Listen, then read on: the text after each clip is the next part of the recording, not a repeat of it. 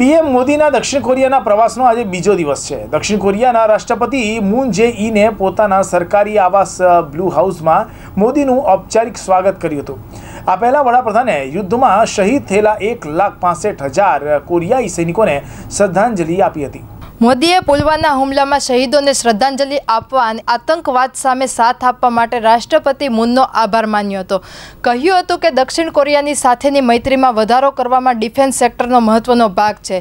કોરિયાના કે નાઇન તોપ ભારતીય આર્મીમાં સામેલ કરાઈ છે. ગુરુવારે સિયોલમાં ભારતીય સમુદાયને સંબોધિત કરતાં કહ્યું છે કે અમારું લક્ષ્યાંક આવનારા પંદર વર્ષમાં દુનિયાના ટોચના ત્રણ દેશોમાં સામેલ થવાનું છે. આપણે દુનિયાના મહાત્મા ગાંધીનો પ્રચાર કરવો જોઈએ. શુક્રવારે મને શાંતિ પુરસ્કારો આપવામાં આવશે, જે મારા એકલાનો નહીં, પરંતુ ભારતના એકસો ત્રીસ કરોડ ભારતીયોનો અને વિદેશમાં રહેનારા ત્રણ કરોડ ભારતીયોનો છે. આ પુરસ્કાર ભારતીયોના પરિશ્રમની નિશાની છે.